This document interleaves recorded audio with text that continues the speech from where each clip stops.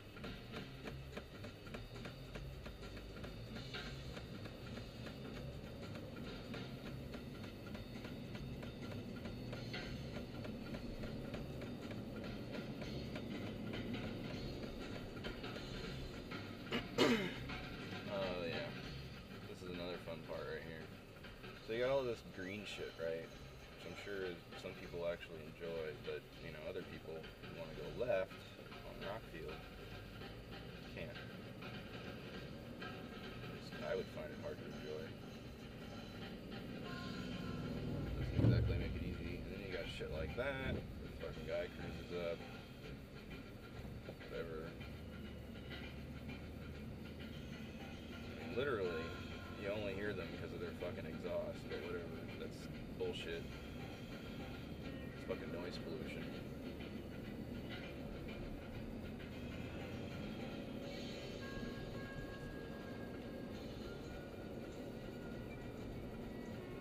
Anyway, uh, not even hitting 30 yet on our way down El Toro, where speed limit is a lovely 45, I believe.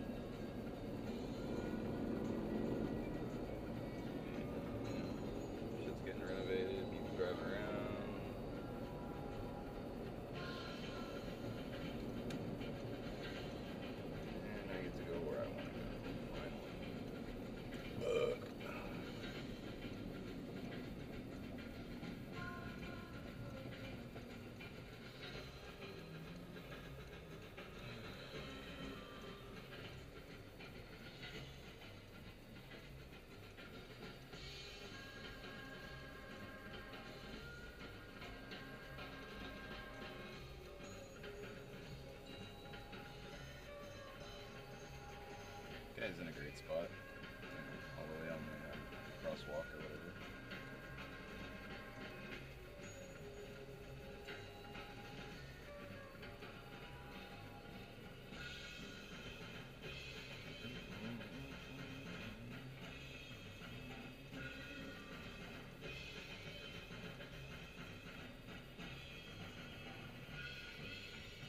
say, pedestrians in El Toro Boulevard really take up quite a lot of time. But, you know, it's the way it's designed.